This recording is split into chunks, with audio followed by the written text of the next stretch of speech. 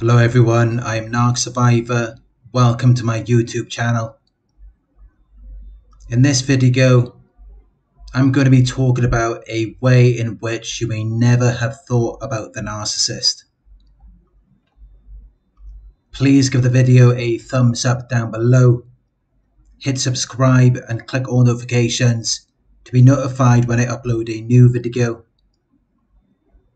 If you would like to book a one-on-one coaching session with me, just go to my website. It is narcsurvivor.co.uk. You may never have thought this way about the narcissist. You may never have thought about the narcissist in this way. It may never have crossed your mind. But narcissism is actually characterized by jealousy and envy. Yes, the narcissist is jealous of you, and that is why they are often so mean and competitive. It's why they're unkind, spiteful, and unfair, and why they drain you of everything you have. Yet they are unwilling to give or share things with you because they feel discontented longing aroused by your possessions, qualities, or luck. They desire to have what you have and they may also fear that someone or something may take you away from them. Which is why they will monitor, stalk, and harass you, and they may even try to isolate you. They can be jealous of you, even if they have the same things you have, because they're not satisfied with what they have. They're not satisfied with you. They keep wanting more they want more than what you have. And they don't want you to have anything. Because they want to be the center of attention at all times. They want to have more attention and importance than you do. If you have a house and the narcissist has a bigger house, they will still want your house. Even if they have enough money to buy 10 houses, they will still want the one that belongs to you. Because it's not just about the house, it's the feeling that you get from your qualities and possessions. They can't get the same fulfillment as you do. They can't be satisfied. So they want to deprive you, devalue you, and harm you. Because that is the only way they can feel good about themselves. By putting you down, they create an illusion of elevation for themselves when otherwise they would feel depressed. Because they're empty vessels, they have a void that can never be filled. Which is why they often cheat, lie, and steal in order to get what they want, because they can't get it by being themselves. They're jealous of your good qualities you have honesty, integrity, empathy, and kindness. You're comfortable in your own skin, while they are shame based people who are doing everything they can to avoid reflecting on their shame. Narcissists only victimize people who they are jealous of, people who have something that they want to possess, people who have something that they wish they had they would not attack you if they weren't jealous of you. They're jealous of your joy and happiness. They're jealous of how everyone seems to like you. They're jealous of your heart, mind, and soul. They are attacking you because you have something they cannot possess on their own. And when you really understand that, it will help you to deflect the pain, shame, and cruelty back to where it should be. Which, of course, is to the narcissist who caused you to feel that way. And you will usually know exactly what they are jealous of, because they will project it onto you when they rage, or it may be apparent from what they have deprived you of or withheld from you. Narcissists always tell on themselves. Their words and actions reveal things about themselves that they did not intend to reveal. But what they want more than anything is the feelings that you feel, your happy personality.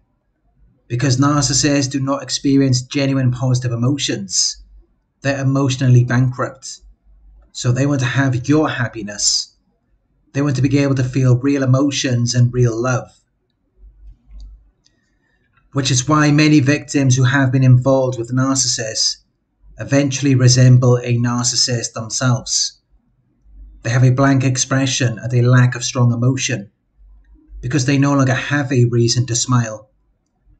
They feel hopeless, they feel dead inside, and there is no life in their eyes.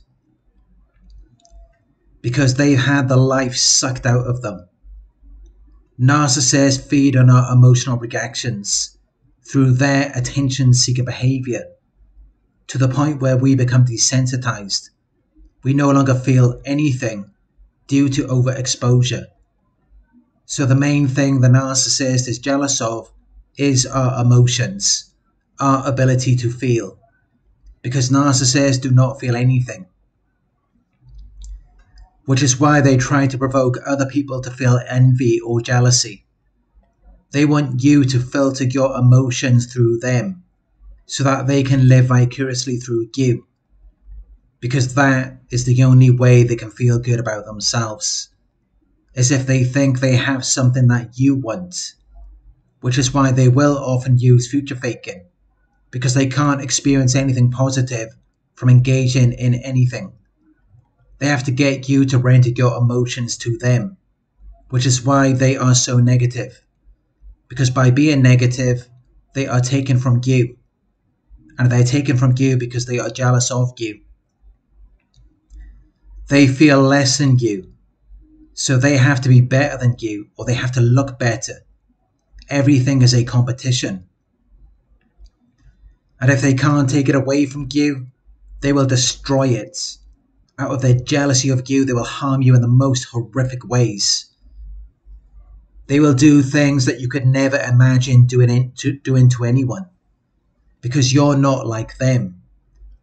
The things they do are unforgivable.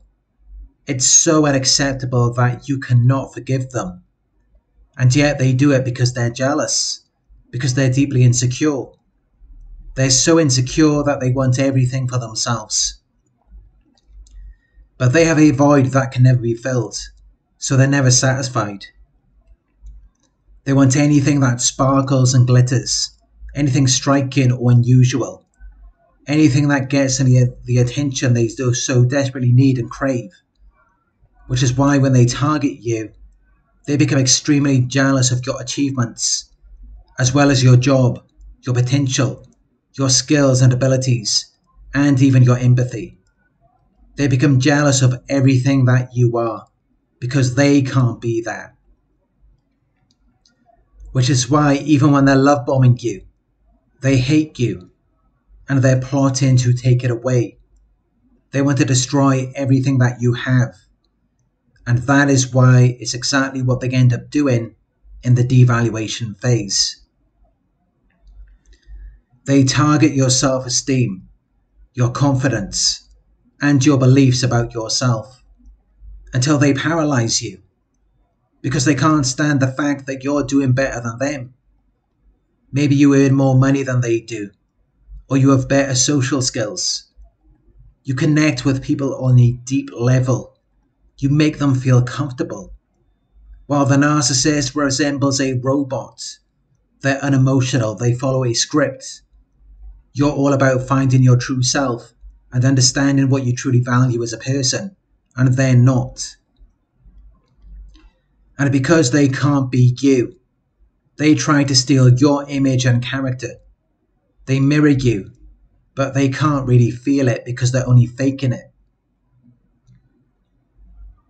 It's not coming from within like it is with you, which is why they inevitably try to destroy you. They poison drip you. They slowly poison you through small or subtle personal attacks over a period of time. They strategically try to drag down your self esteem so that you don't have the confidence to seek a better option. They make negative comments about your job, your salary, your skills, and your achievements. They put you down because they want to make you feel small. And they know exactly what they're doing. They do the same things intentionally every day. They gaslight you about yourself until they rob you of your independent ability to act on your will. They assassinate your character. They destroy your identity. They destroy your feelings, wants, and needs until you don't even know what you want anymore. You don't know what you like or what you don't like. They parasitically introject themselves in your mind so that you unconsciously adopt their ideas and attitudes. And then they become your inner voice. They take over your perception of yourself and your perception of the world and other people. Until you begin to believe their opinions more than your own. They get you to see yourself as a horrible person as someone who doesn't know how to deal with people and situations, as though you're unable to think correctly. Because once a narcissist gets an idea in their head, they never give up. So then they have to convince you of their ideas. They have to own real estate in your mind. They have to take control of your thoughts so that they can parasitically feed off you until you completely forget about yourself and whatever you wanted or whatever you were trying to do. Because now they have brainwashed you into thinking that you are always the problem. So any opinions you have are always going to be bad and wrong, as though you're causing them pain and suffering. And by seeing yourself that way, it makes it almost impossible for you to function normally so you begin to disintegrate because they're constantly eating away at you. They targeted you. They learned your vulnerabilities and then they use them against you to cause you to become useless, but you're not fulfilling or expected to achieve your intended purpose or desired outcome. So essentially, they turn you into a shell of yourself and then they discard you when you are at your most vulnerable point. They leave you in a state of confusion where you don't know what is right and what is wrong, or what is real and what is not real, because everything is enmeshed together. Nothing makes sense anymore. You're left questioning your own voice and your own emotions, and you assume that they must be right, since they have convinced you that it is your fault but it's actually because they're jealous. That is what makes someone to rob you of everything.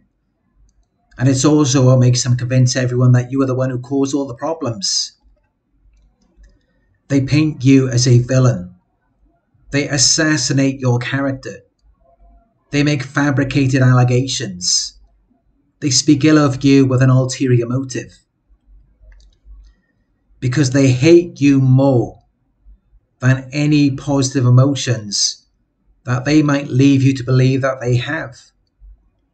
Their hatred overrides their ability to feel positive emotions. It drives them to destroy their relationship with you because they just want to win. They want to make you suffer. They want to have an advantage over you when normally they would not. So they destroy your reputation and they isolate you either by devaluing other people to you or by devaluing you to them, depending on whether or not they have managed to manipulate the other people. If they have, then they will devalue you to those other people. Because the narcissist wants you to depend only on them, which makes it very difficult for you to leave. And that is what they want. It's why they run smear campaigns. It's why they try to get you fired from your job. It's why they destroy your reputation. Because they're jealous and they want to bring you down. By destroying years of your hard work. Because that makes them feel powerful. It's the closest thing they get to experiencing joy. Because they're dishonest, immoral, and evil. so they can't find fulfillment in regular things. They run a smear campaign and they isolate you, so that people give you strange looks and they turn against you, to reinforce your belief that you are the crazy one, and to make you think that you are the cause of everything. Because if that wasn't true, then why would those people distance themselves from you? When really, it's because the narcissist is jealous and insecure. That's what makes someone to cut off your support. Because they want to see you suffer. They want to see you struggle. They derive pleasure from inflicting pain and humiliation on you.